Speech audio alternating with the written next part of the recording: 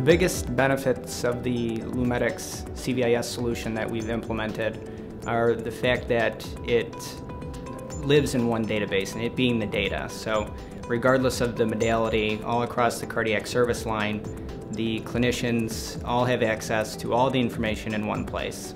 The other benefit is that it integrates with all the various modality equipment and vendors. So the biggest benefit of it all, I think, is the fact that we've become completely vendor neutral.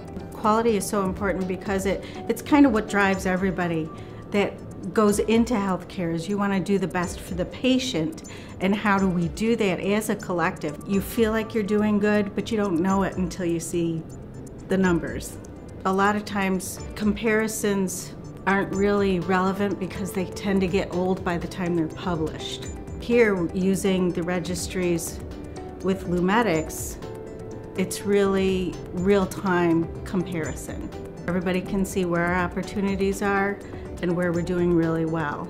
I think that's to have a cloud-based system and have that freedom. I think is leaps and bounds above anything that I've seen. You know, everybody you can get a report, but actually having the ability to have this freedom and look at it and anywhere and report it from anywhere is, is really a big big deal. The LUMEDX system really allows for easy reporting, it allows for easy reports, and it really um, provides a structure in terms of um, how we report, what we report, so we're really able to look at the patient from all aspects. We're meeting all of our compliance guidelines, we're really looking at best practice and um, providing that for our patients. And the, the LUMEDX system really helps um, provide that in a very comprehensive system. The uh, ability to um, access and communicate uh, almost instantaneously across distances is, is another feature now that we didn't have before.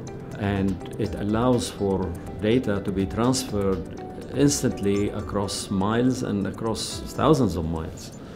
Uh, and that, of course, is very important in terms of avoiding duplication, uh, in terms of uh, accuracy of the uh, of record keeping, uh, and in terms of that this is transferable between one center and the next. Uh, and today people move around, they go to winter in Florida or whatever, and now they have a some sort of a symptom, and the physicians there can immediately uh, import what was done here and vice versa.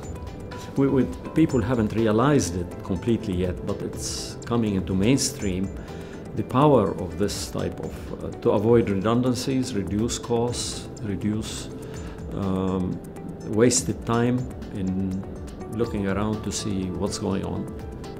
There's a ni really nice feature that I like is um, if somebody's had a previous bypass operation or valve procedure or previous PCI, you enter that information, for example, for say the patient had a stent in their LAD, so you enter uh, proximal LAD. It's a drop-down menu again. Proximal LAD, uh, three by um, 18 millimeter Promus stent. Uh, it, it, gets entered in there, and then it's in there forever. So, and it comes it comes as a table the, in the report.